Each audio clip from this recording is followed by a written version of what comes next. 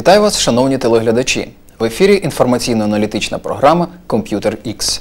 Коротко про основні теми сьогоднішнього випуску.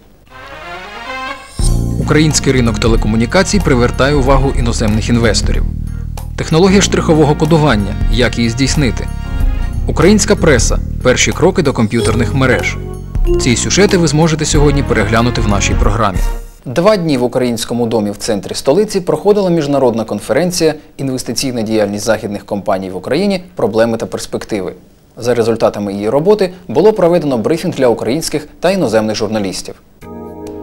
Зазначимо, що український ринок телекомунікацій на сьогодні є дійсно привабливим для іноземних інвесторів. Тому у конференції взяли участь представники понад 40 вітчизняних та іноземних компаній, що зацікавлені в розширенні своєї діяльності на українському ринкові телекомунікацій.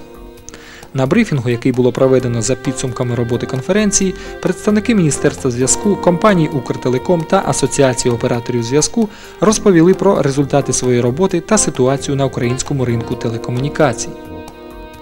Так, зазначалося, що обсяг інвестицій в цю галузь поки що недостатній.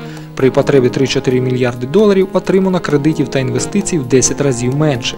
Але демонополізація ринку послуг зв'язку дозволила розширити послуги кількісно та якісно їх покращити. З вуст міністра зв'язку пролунала інформація, що готуються певні зміни в законі України про зв'язок, які, на його думку, активізують діяльність на цьому секторі ринку.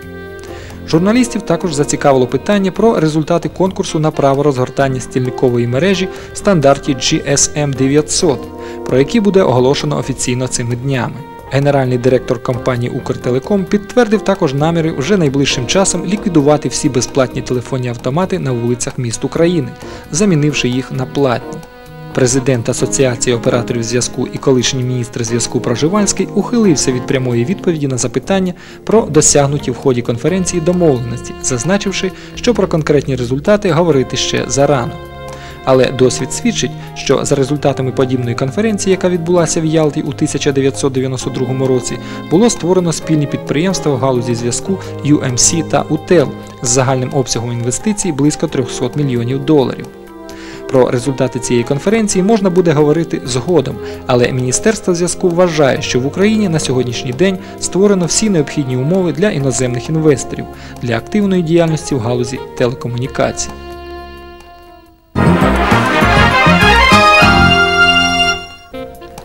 До речі, як нам повідомила прес-служба Міністерства зв'язку, міжвідомча комісія з питань ліцензування використання радіочастот України цими днями визначила переможців тендера на право використовувати частоти в діапазонах 890-950 МГц та 935-960 МГц для розгортання мереж стільникового зв'язку в стандарті GSM.